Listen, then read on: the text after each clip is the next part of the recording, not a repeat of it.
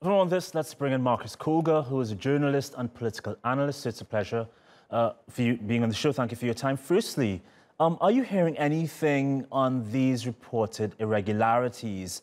I mean, and have they affected the result at all?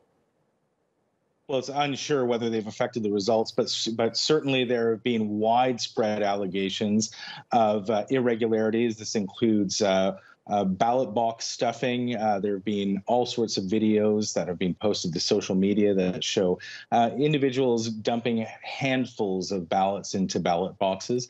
Uh, there's been some uh, some reports of forced voting. Uh, employees at state-run companies and such have been told to vote for United Russia.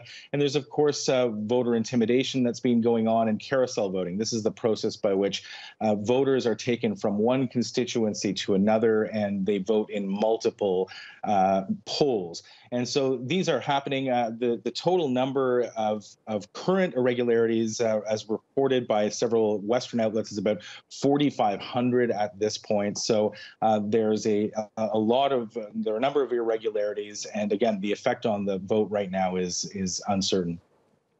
Uh, can you just explain a bit more on what this parliamentary win would mean for Putin?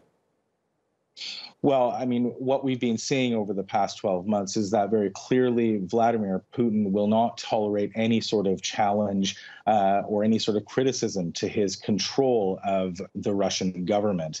Um, it was very important for Vladimir Putin to win another majority. Uh, I mean, win, I put that in quotation marks. Uh, he needed to win this majority in order to continue uh, his own, uh, maintain his own power uh, as president. He'll be facing another election in, in four years. And as your reporter er, reported earlier, he's trying to pass some constitutional amendments to extend his own term beyond the, the next election to potentially 2036. Um, so he needs that majority in the parliament uh, to continue uh, and remain in power and to uh, control the the uh, the overall Russian government.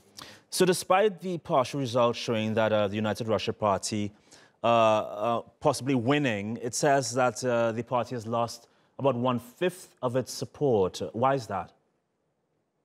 Well, it, it looks like they're headed to uh, winning 40 to 45 percent of the vote. This is much lower than the previous uh, election, and it's entirely possible that uh, Alexei Navalny and the opposition through their smart voting campaign that was running up until uh, about a week ago, uh, that that may have had an effect, and that that Russian voters were using that system in order to vote for uh, opposition candidates.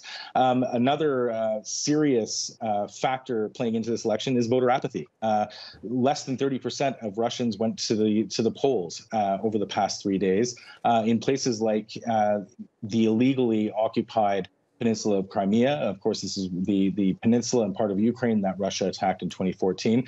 Uh, voter turnout has been less than, reportedly, less than 3%. So there aren't a lot of Russians who are keen to vote or were keen to vote in these elections. Um, and, and I think that probably played a, uh, a large uh, role in, in the outcome today as well. Marcus Kolga in Toronto. Once again, appreciate your time. Thank you.